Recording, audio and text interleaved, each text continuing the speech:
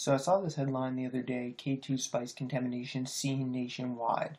And you know, this is a sexy topic in the area of psychiatry and emergency and emergency psychiatry, also in emergency medicine because we're seeing runs of people and they usually come in clusters of people intoxicated with K2 spice and um, this new contamination or the, the changes that they've, they've undergone, the new synthetic cannabinoids that are coming out seem to have a different set of presenting symptoms than the previous ones with intoxication. So let's dive right into a little bit about what K2 spice is. So these are synthetic cannabinoids, like I said in the in the previous slide.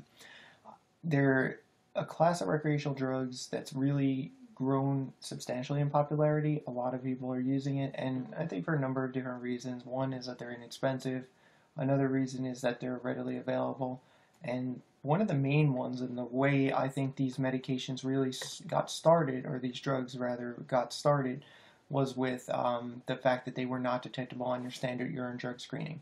So you had a lot of people who were either on probation or in the military or working a job where they were re regularly drug tested, and these people would not be able to use nor you know regular marijuana, let's say, because they would their urine drug screen would be positive.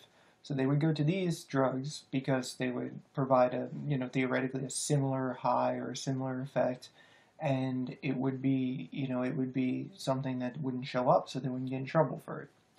Now, the synthetic cannabinoids are a lot more potent, so they stimulate the cannabinoid receptors 10 to 8, 10 to 800 times as much, right? They're way more potent drugs than your regular THC that's found in uh, typical marijuana common symptoms of intoxication previously with the older classes of synthetic cannabinoids we saw more of the like autonomic symptoms it's like tachycardia diaphoresis hypertension etc the new symptoms that we're seeing with this with the latest changes and newer synthetic cannabinoids is we're seeing not only the, the recent increased bleeding risk that was also mentioned, there was a, there, that was in previous uh, places, but now we're seeing this even new set of symptoms besides just increased bleeding.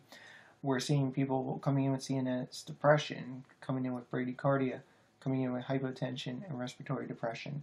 So more so instead of the you know hypertension, tachycardia picture that we were seeing initially, now we're seeing almost the exact opposite of that. We're seeing the bradycardia, the hypotension, and the respiratory depression, in some cases even requiring intubation. So it's certainly something to be looking out for. Another important point is there's no antidote to these compounds. So when you do, when someone is intoxicated, the really your goal as an say an emergency doctor is to protect the airway, monitor the breathing, the circulation, etc., and to you know provide supportive care as necessary, fluids as necessary, etc to make sure that these people are, are, are going to be okay and that they're going to get through this period of intoxication.